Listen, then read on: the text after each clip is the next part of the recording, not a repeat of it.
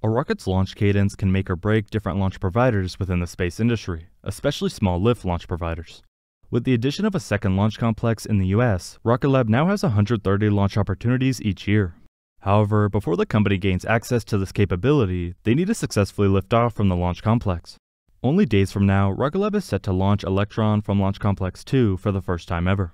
Recently, Electron was erected at the pad and went through a few tests in preparation for the launch scheduled to happen on December 7th.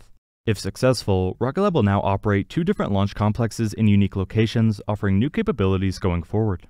This will also be the first launch from the United States, helping Rocket Lab gain more contracts with NASA and other US government agencies in the future. Not to mention new contracts from NASA including TROPICS missions, which we recently saw Astra fail to launch. Here I'll go more in depth into some of the recent updates on this launch, why it's so important, what to expect in the future, and more.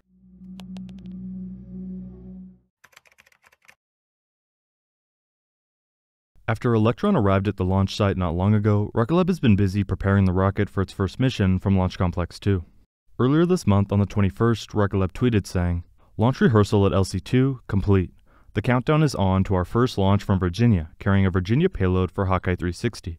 Specifically, the mission will take place from Rocket Lab Launch Complex 2 at Virginia Space's Mid Atlantic Regional Spaceport within NASA Wallops Flight Facility, a launch pad developed to support U.S. Electron missions for government and commercial customers.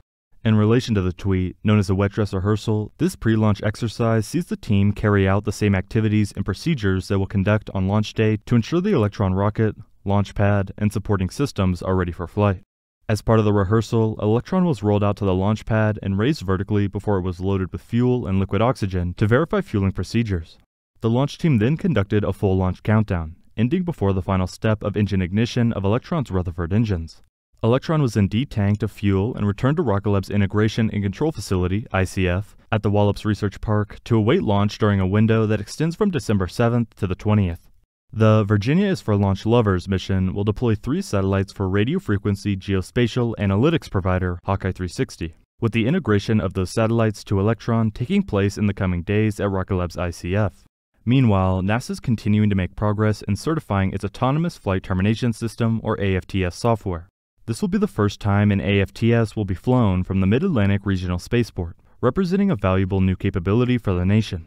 While this mission will be Electron's first launch from the US, Rocket Lab has already conducted 32 Electron missions from Launch Complex 1 in New Zealand, delivering 152 satellites to orbit for customers including NASA, the National Reconnaissance Office, DARPA, the US Space Force, and a range of commercial constellation operators.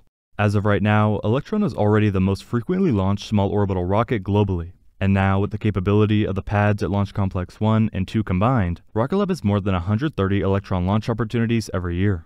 Not to mention the added benefit of unique customers now that the company can launch from the United States.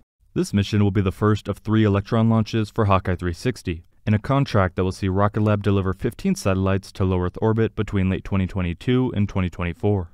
These missions will grow Hawkeye 360's constellation and radio frequency monitoring satellites, enabling the company to better deliver precise geolocation of radio frequency emissions anywhere in the world.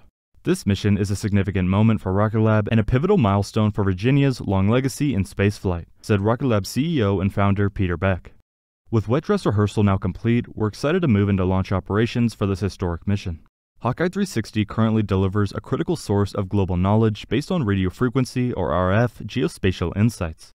Cluster 6 is a trio of next-generation satellites that will soon join the growing constellation Hawkeye 360 has developed to detect and monitor RF signals globally. This latest set of satellites will be the first to enter an inclined orbit, further boosting revisits over the mid-latitude regions of the globe. This addition also brings an improved revisit rate, allowing for revisits as frequently as once per hour, anywhere in the world. The additional capacity plus an expanded collection optimization to improve data in the 15 to 18 GHz range exposes new and meaningful applications for their customers, especially in high demand areas. These satellites deploy in clusters of three and fly in formation using a specially designed propulsion system. In addition, the company uses proprietary algorithms to process the radio frequency data generated by the satellites, all of which will be facilitated by Rocket Lab very soon and a few years in the future based on the contracts between the companies.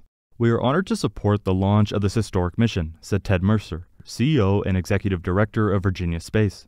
In addition to being Rocket Lab's first and only U.S. launch location, we will also be building rockets and processing their payload right here in Accomack County. something that has never been done in Virginia. Our partnership with Rocket Lab is a unique opportunity for the Commonwealth of Virginia to create long term economic development opportunities in the form of high paying jobs, launch viewing tourism, and construction of new facilities on the Eastern Shore. In addition to this first launch from Launch Complex 2 just one week away, NASA announced new information regarding future mission opportunities for Rocket Lab. On the 23rd, Rocket Lab tweeted mentioning, Electron is launching the TROPICS missions.